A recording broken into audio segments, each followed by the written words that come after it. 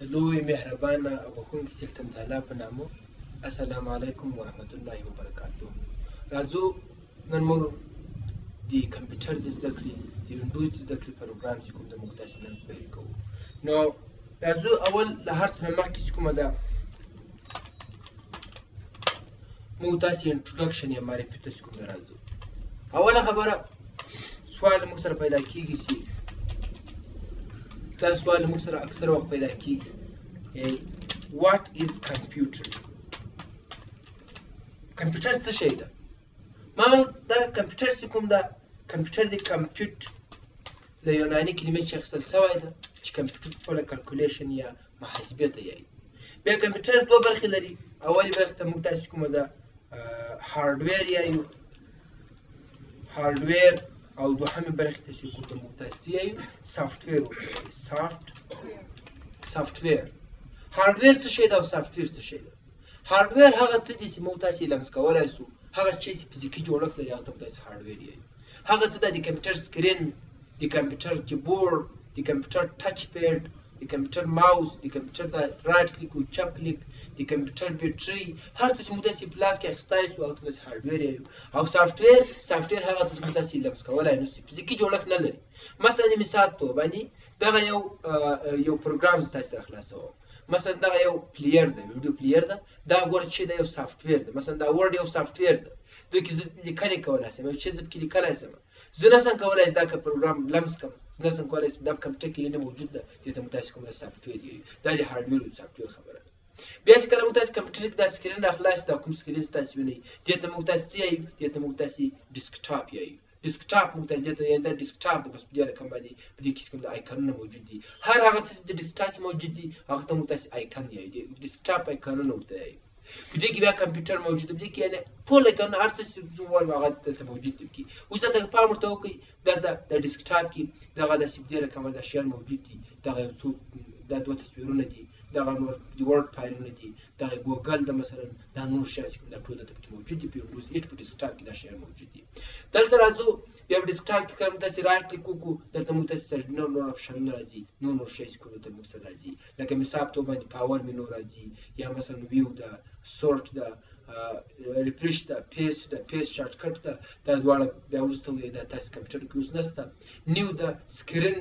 ریزولوشن ده دا ټول شیان چې کوم دلته موجود دي دا ټول شیان موږ داسې په سټیپ بای سټیپ قدم په قدم باندې کوم دلته سره کوو دلته چې کله زه کلیک وکړم دا کوچ ته چې کله زه راسم دلته موږ داسې سټارټ منیو ورته یایو دا سټارټ منیو ده دې کې چې کومه ده د ماپ فایلونه کوم چې زما په کمپیوټر کې انسټال کړي دي هغه ټول دلته پکې موجود دي دلته کته چې راسو کته دې دې او تم تاسو ټاسک بار یایو دا ټاسک بار ده دې کې مثلا ما ته چې راکړي لکه مثلا دا لاوډ سپیکر ده زه پورته کوم کته کوم دلته چې راځم مثلا دا زبه ده مثلا زه بدلوم دلته ما ته غړي کار کوي تاریخ او غړي ما ته کار کوي دلته ما ته بیتري کار کوي ما ته یې دلته اپشن نه راکړي مثلا دا دی بیتری ده خپل ځان ته نور افشن نه لری دلته ماته نیټ ورک راکوی وای پای سره زه کنیکټ کیږم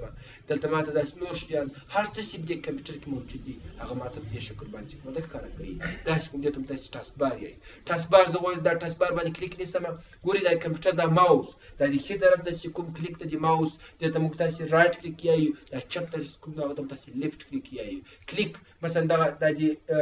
چپ طرف کلیک نیسم اته دا د سټاک شوم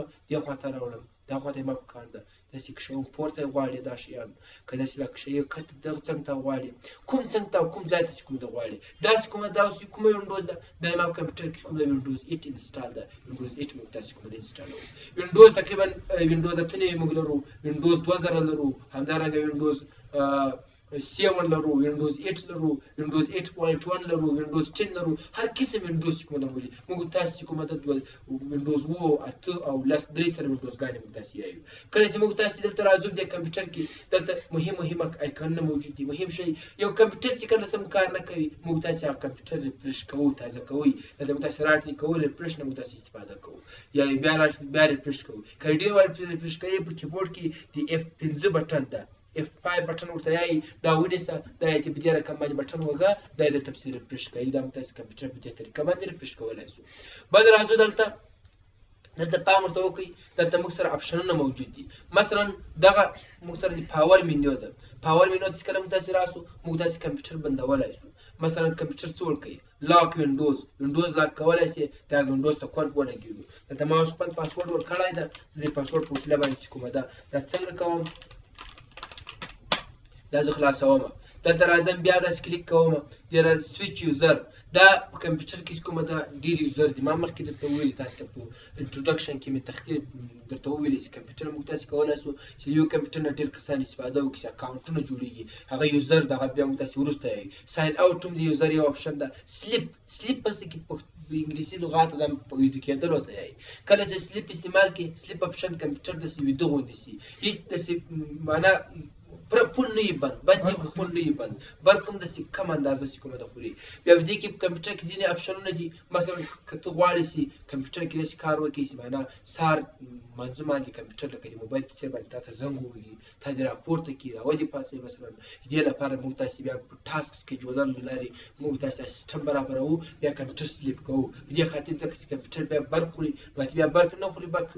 ډېر نو ډېر نه مصرفوي ساري باندې کمپیوټر په خپله چلانېږي او خپل کار سکونه سرته رسوي هغه بیا د کمپیوټر ته موږ تاسې تقسیم اوقات یا سکیجول ورکوو کته پسې راځو دا هایبرنیټ اپشن ده هایبرنیټ ډېر په زړه پورې او ډېر خوندور اپشن ده کله چې کله چې تاسې په کمپیوټر کې مثلا زما په کمپیوټر کې ده دا ورډ مې کې را خلاص کړی دی زما په کمپیوټر کې ورډ خلاص ده مثلا زما په کمپیوټر کې مې یو ویډیو را خلاصه کړې ده فلم ده یا ویډیو ده هر شی چې ده نیمه مې کتلې ده یو ډېره اندازه راته پاته ده یعنې داسې ډېره کمه یو حساب ده نیمه مې کتلې نیمه یې پاته ده نو زه غواړم چې زه خو نه غواړم چې هغه ویډیو له لاسه ورکړم که چېرته زه کمپیوټر بند کړم نو هغه ویډیو بېرته ما ته څه راشي مثلا ما پنځه څلوېښت دقیقې کتلې ده سبا ته خو ما په یاد باندې نه پاته کېږي چې ما دې پنځه څلوېښت دقیقې کتلې که څومره خو زه غواړم کمپیوټر داسې بند کړم چې ما چې شي کې خلاص کړي کوم کارونه چې ما نیمګړي په کمپیوټر کې پاتې دي هغه کارونه به ټول هلته هغه رقم باندې باید وي دا رقم باید زه بند کړم نو که چېرته زه کمپیوټر سلیپ کړم هم شیان ټول بندېږي نو دې لپاره موږ داسې د هایبرنیټ اپشن نه کار اخلو دلته راځو رایټ کلیک کوو بیا پاور مینو ته راځو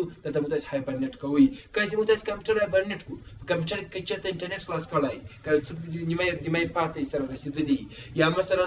ورډ فایل کې نیمه کار کړی نیمه پاتې یو ویډیو یې نیمه کتلې نیمه یې درته پاته ده کله چې کمپیوټر بند کړې بیرته څه چالو کړې هغه شیان به دغسې په نیمه یې درته پاته وي بیرته له هغه جاتې بیرته بنا ورته وکړه اتیا مشکل نه وي درته ډېر یو ښایسته او ډېر یو په زړه پورې اپشن ده دلته راځو سلیپ اپشن هم ویو دغه هایبریډ شټ ډاون شټ ډاون دا فل شټ ډاون دا په مکمله توګه کمپیوټر بندیږي هایبریډ شټ ډاون هم همداسې ده او ریسټارټ به داسې یو کار سرته رسوي کله چې موږ تاسو کمپیوټر مثلا ما کمپیوټر ده دې ته یو د سافټویر انسټال کړو یو بل شی انسټال کړو یا مې کمپیوټر سپو د موبایل کې دا آپشن تاسو درکوي بیا تاسو کمپیوټر څنګه کوئ ریسټارټ کوئ ریسټارټ دا معنی چې کمپیوټر دې بند شي بیرته دې په خپل چالو شي دې ته موږ تاسو ریسټارټ آپشن ورکوو بیا که چېرته موږ تاسو کمپیوټر غواړو چې په لنډه توګه باندې بند کمپیوټر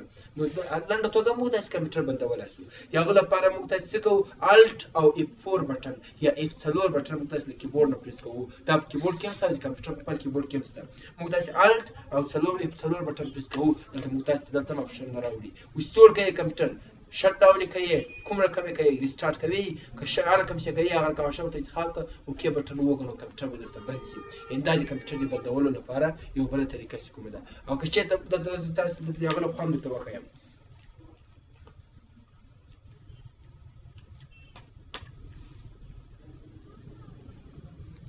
دلته به زه د کیبورډ لارې درته وښیم ګورئ دا دا مثلا یو کیبورډ ده دلته موږ داسې راځو زه غواړم چې هغه اپشن کار وکړي معنا الټ پلس ایم فور بټن زه کار اخلم نو زه الټ نیسم الټ بټن مې نیولی ګوري دغه الټ یو دغه بټن ده دا په منځ کې د سپیس بټن ده دا دلته سپیس بټن یایي او دغه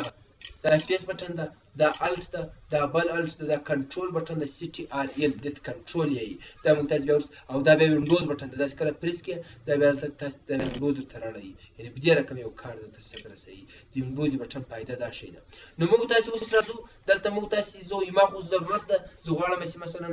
الټ اف 4 بټن الټ بټن وهمه او بیا اف 4 بټن اف 4 بټن بس بوګه اته انټر بټن پریس کا اته به ان شاء الله تا کمپیوټر به ډیره کمه دي بنځي دا بس د کیبورډ بټن نه دي لکه انټر بټن ده بیک سپیس دا بټن نه به تاسو کو څوکه څوکه سره یو یو باندې تاسو څنګه کوي تاسو په ځمي دا د کمپیوټر سټینګونه دي دا د چې راځو دا غوړي پاور مینو ویو ته راځو د ډیسکټاپ کې دا ته ماته ایکانونه راځي دا مثلا ماته په دې شکل باندې چې کومه ده کارېږي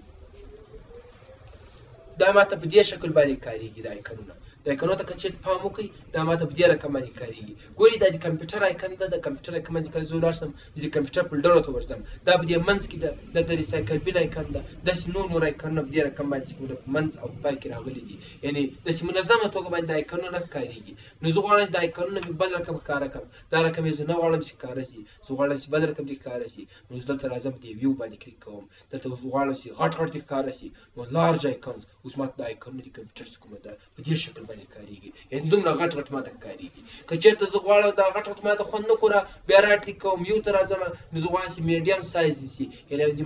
منځنی سایز باندې دا ډیره کم سایز باندې ماته کار کوي که چیرته زه بیا بیرته راسم دلته په ریویو باندې کلیک وکم دلته بیا زه راځم سمال ایکن واړو واړو دی راته ښکاره کړي نو ماته یې ګوره واړو واړو ښکاره کوي تاسو په شکل باندې تاسو وغواړئ څه رقم باندې تاسو وغواړئ په هغه رقم باندې تاسو کولای شئ دا ایکن ښکاره کړئ دا په وینډوز سیون کې هم دغه یو رقم ده او په وینډوز 8 یا په هم دغه یو رقم ده او په وینډوز 8.1 او همدارنګه په وینډوز 10 یا پلس وینډوز کې په دې ټولو ویډوزو کې دا یو آپشن چې په نبدې یو رقم باندې ده بیا دې ویو ته راځم دلته مثلا سمال آیکن ما انتخاب کو اوس زه غواړی چې دلته اوس یو بل مشکل ده زه دا آیکن را کښوم دلته یې اچوم خو دلته نه راځي کله چې دا آیکن را کش کړم دلته واچوم دلته دلته واچوم مشکل نشته دلته رقم مثلا دغه ځای ته زه راوړم مشکل نشته دا د ګوګل آیکن زه دې خوا ته راوړم دلته بیا مشکل نشته ورکیږي خو زه غواړم دا یو آیکن ده دغه یو دغه آیکن ده یو دغه د کمپیوټر آیکن ده دا غواړم دا د دغه څنګ کې دې خوا ته پراته دي او دا نور دې خوا ته پراته دي نو زه راځم دا کمپیوټر آیکن دلته راکښوم بس دا څنګه راکښوم بس دغه دا چپ کلیک نه ده په ماوس کې دا زه داسې کلک پې نیسم بیا داسې کښوم چیرې زړه یي وړي داسې غورځوم خو بیا هم دې خوا ته راسي یعنې دلته ماته آیکن نه لویږي دا څه مشکل ده دا څه ستونزه ده د دې لپاره زه راځم دلته رایټ کلیک کوم یعنی ښی کلیک کوم ښی کلیک له ماوس چې کوم بیا دلته راځم دلته د ویو ته راځم دورې پسې راځم دلته ما سره چې دي اوټو ارینج ایکن د دې نه زه چیک ایسته کوم نو زه غواړم دا ایکن زه دلته واچوم دغه بل ایکن زه رقم دلته اچوم دا بل مثلا دا یو څو ایکنو زه دا کلیک نیسم دا چپ کلیک نیسم او داسې پرې کښوم بیا هغه بعد دا څلور سره ایکنو کښوم دلته اچوم دا بل ایکن مثلا دلته اچوم اند آیکنونه زه چې چېرته مې زړوي هر آیکن ورې زه اچولی سم چې چېرته په کوم ځای کې چې ما زړوي په هغه ځای کې زه آیکنونه سره ښورولی سم هر ځای اچولی سم یو چا کمپیوټر درته راوړ یو چا مثلا کمپیوټر ته چې ما په کمپیوټر کې خو د آیکنونه په دې رقم ګډوډ راغلو وایي تا په کمپیوټر کې آیکن اوس که چېرته ته دا یو یو آیکن داسې راکښیې سره یو دغه آیکن راخې دلته یې چې بل راخې دلته یې چې بل اچوې په دې رقم بل تا چې سخته ډېر وخت ونیسي بیا تا ته نه دي معلوم چې هغه هغه کن چیرې پروت اوس به دا کوم سړی کن دا کوم ځای کې پروت دا خو ما چیریږي دا خو ما په ذهن کې نه پاته کیږي نو دې لپاره زه راځم څه کوم رایټ کلیک یا ښه کلیک کوم بیا دې ویو ته راځم او ټو ارینج یې کته چک ورکوم بیرته ټول ماته څه کوم یو جې کوم دې رقم باندې ماته راوستم دا دې فائدہ ده بیا راځم دلته لاغو بعد بیا دې یو تر راځم دلته ما سره کومه ده الاین آیکن ټو ګریډ دا ګور الاین یو آیکن سره کوم دی الاین کار کوي معنا دا شي الاین معنا ترتیبول دا د ګریډ په څیر په څیر باندې آیکن ترتیبې دومره د مهم اپشن نه ده بیا په راځو دلته لاغو بعد شوډ سټاپ یې کړ یو سړی یا یا ما کمپیوټر سي چالو کم د ما کمپیوټر سي چالو کم اوس د ما کمپیوټر چالو د یو آیکن هم بلی وینډوز کې نه معلومي ګور دا خو یو ستونزه ده اوس د آیکن له کومه کم د کمپیوټر آیکن نشته د ورډ آیکن نه پراته هغه نشته فایلونه پراته نور څه پراته هر څه چې د کمپیوټر کې پراته اوس ټول ورک دي یو شی هم په دې کمپیوټر ډیسکټاپ باندې نه کاریږي دا بوره زما لپاره یوه ستونزه شوه، یو مشکل شو، نو زه غواړم چې دا مشکل حل کړم، زه غواړم چې دا ایکونه بېرته را پیدا شي، نو دې لپاره زه څه کوم؟ دلته چپ کلیک کوم، بیا دلته راځم ویو ته، بیا دا شو، شو معنا ښکاره کړه، وښیه ډیسکټاپ په ایکن، ما ته بېرته ټول سکرین ښکاره کوي، دا ګوره ایکونونه پټ وو، ما ته ټول دې رقم باندې سکرین ما ته راښکاره کړو. بله خبره دا ایکونونه خو اوس دا رقم اچولي، زه یوه وسیله ته خو په دې کې خو مثلا دغه ډیسکټاپ ده د کمپیوټر د مثلا ریسایکل بین ده دا نور شیان دي دا دې دلته واچوي دا دې منظم کړي سره بل رقم دي کړي نو زه ته راځم سور نه زه اپشن کار اخلم دلته راځم دې سور ته راځم اوس زه چې نوم ته په کتو سره دې منظم کړي د کوم یو نوم چې غټ مثلا ایر لیکل سوی هغه به دلته وي د کوم یو چې په بي لیکل سوی هغه پسې د کوم نوم چې په زیډ باندې لیکل سوی هغه به کښته پسې راځي نوم ته په کتو سره دا یې کړم نوم منظم کړي ما ته اوس دلته راځم سورټ ته دلته راځم چې نیم نو ګوره د کمپیوټر نوم سو بیا دغه سو په دې رقم باندې کوم دی ګوره دا سی ده دا ګوره آر ده دا په دې رقم دی نوم ته په کتو سره یې ماته منظم کړو زه بیا یم چې دغسې دې نه وي زه یم چې سایز ته دې ګوري چې کوم یو سایز غټ هغه دې دلته راسي یا وړ سایز هغه دې پای ته راسي نو زه دلته راځم دا سور ته راځم بیا سایز ته راځم ګوره د دغه سایز ده بیا دغه سایز یعنې سایز مطابق یې ماته منظم کړو بیا راځه دلته ځای چې سایز ته دیم نه ګوري بلکې دا د آیټم ډول ته دې ګوري که کوم یو مثلا باید دلته د کمپیوټر له نظره او کوم آیکونونه چې باید په سر کې راشي هغه به په سر کې راشي او کوم چې باید په پای کې راشي هغه به په پای کې راشي یعنې د کمپیوټر نظر ته په کتو سره چې کوم باید څوم راشي هغه رقم دې بیا راشي نو زه دلته راځم دلته څه کوم ټایپ ته ګورم نو ګوره ولې کمپیوټر راوست به یې ریسایکلبین راوست به یې فولډرې راوستلې به یې تصویرونه راوستل به یې فایلونه راوستل په دې رقم باندې شیان ماته په مختلفو توګه باندې کوم ده راوستل بیا راځم هلته ورسي یو بیا راځم دلته زه یې مسي نه دې ته یو ګورې چې معنا کوم یو چې ما مخکینی پخوانی مثلا راوستی د پخوا مې مثلا کوم یو پاله کړی ده هغه دې مثلا په سر کې راسي هغه چې بیا وروسته پاله کړی هغه بیا پسې راسي همدا رقم دې ماته منظم کړي نو زه یم دا څه کوم سورټ باید ته راځم ډیټ موډیفای دی یعنې په دې رقم باید چې کوم د ماته دا شیان چې کوم د دې رقم منظم شو دا د کمپیوټر هغه لومړني سیټینګونه دي دا د کمپیوټر هغه د پیل سیټینګونه دي یعنې په دې رقم موږ داسې کمپیوټر چې کوم دا سیټ کولی شو دا و دې موږ تاسې د نن ورځې درس ته بس